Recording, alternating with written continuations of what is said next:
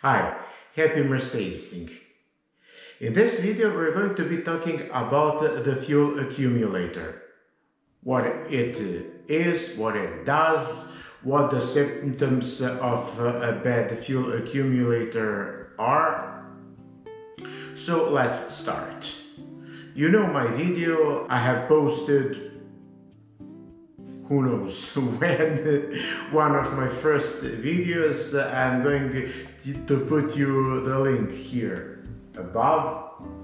So you can see a method how you check uh, a faulty fuel accumulator. Well now let's uh, just uh, remember. This is the fuel accumulator as you can see that part. And the common issues of uh, this part when it fails is that you will have uh, difficult warm starts. So not, not cold but warm starts. Remember that.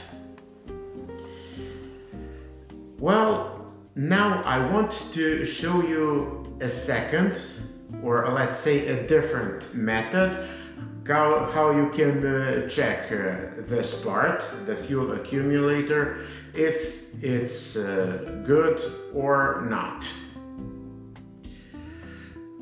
So let's do it. Let's go to the garage. Shall we?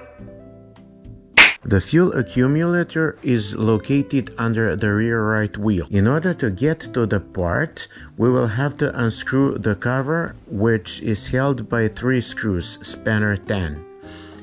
As you unscrew them, this is the picture you will see. The fuel accumulator is connected parallel to the fuel filter. The fuel flows through the pump. It flows in the same time both through the filter as well as to the fuel accumulator. The hose you see there is the ventilation. If the diaphragm of the fuel accumulator gets ruptured, the fuel is going to return into the, the line in.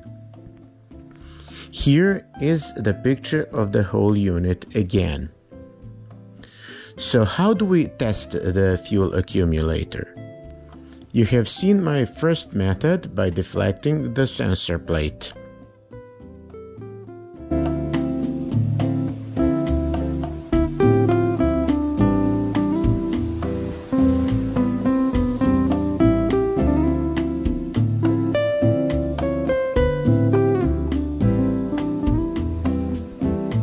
Now I will show you uh, the other method using a pressure gauge.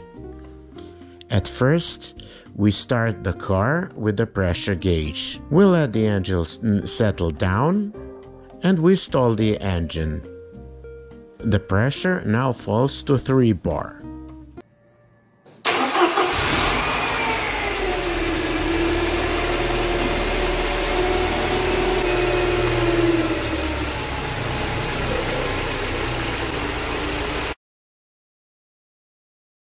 The engine must maintain this pressure for half an hour.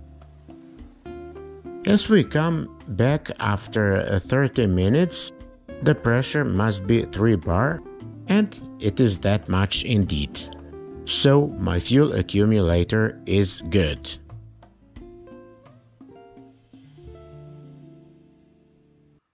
So,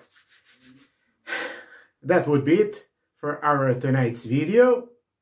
Please consider subscribing to our YouTube channel and click the bell to be notified when we post new videos. And till the next time, happy Mercedes. Bye.